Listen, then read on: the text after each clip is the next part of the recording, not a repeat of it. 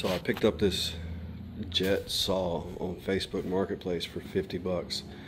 And it came with a little trash stand. I mean, it was trash. Like, I'm gonna take it to the scrapyard.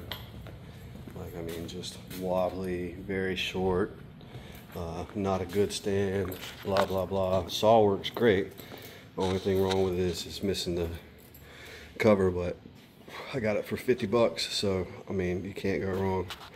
I had a bunch of angle laying around, so what I did was built me a little stand, put some wheels on it, uh, and decided that I wanted a flood system to keep the blade cool when it's cutting big pieces because I bought it specifically to cut forklift tines.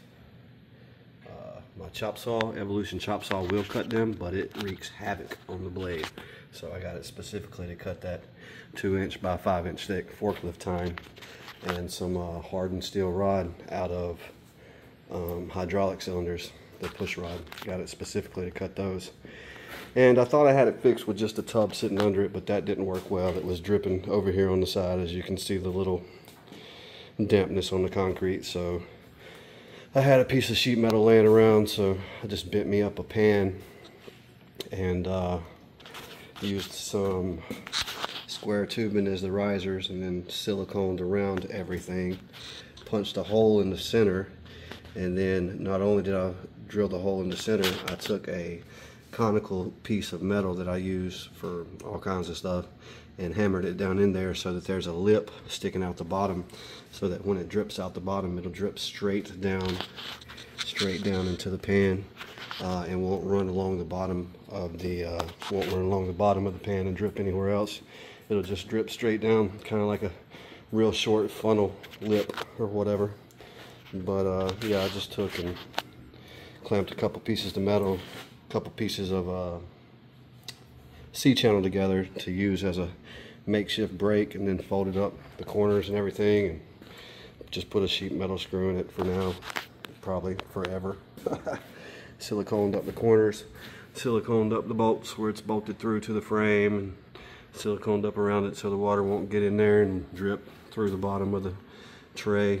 And uh, I just put the silicone on it, so I want to let it set for at least a few hours before I try it. It says 30 minutes, and it's good, but uh, it's got a 24-hour cure time, so I'm gonna wait.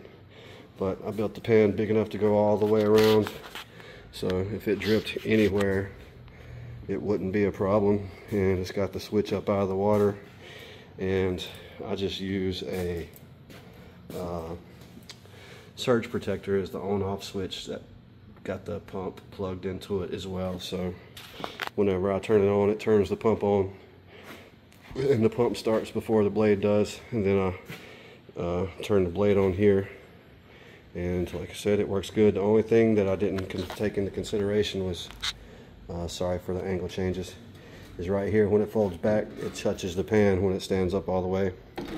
But it doesn't bend it or anything, so I'm not too worried about it. Plus, this is the end where I was having the drips most, where the water comes through. I put a little piece of pad in here to keep shavings and stuff out of it, and that deflects most of the water.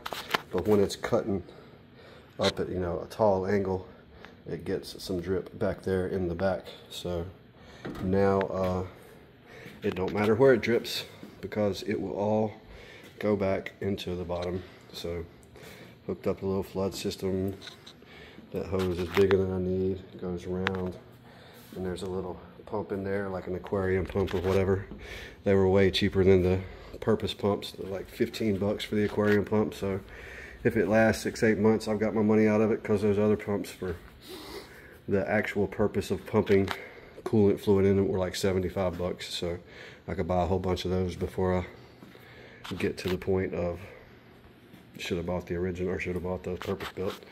But that's the setup. Rolls around super easy. It's taller, you know, so I don't have to bend over. You know, this table is about waist height, which is where you want most your, when you're lifting heavy stuff, you don't want to lift much higher than that anyway. So, yep, that's the setup felt like I got a pretty good deal for 50 bucks. Uh, works great, cuts square. The only other thing that I might do in the future is I've seen a few guys add the hydraulic down feed Um, I put this on the most tension that it has, and it seems to do good cutting those. Uh, I also cut a piece of railroad track with it earlier, and it did really well.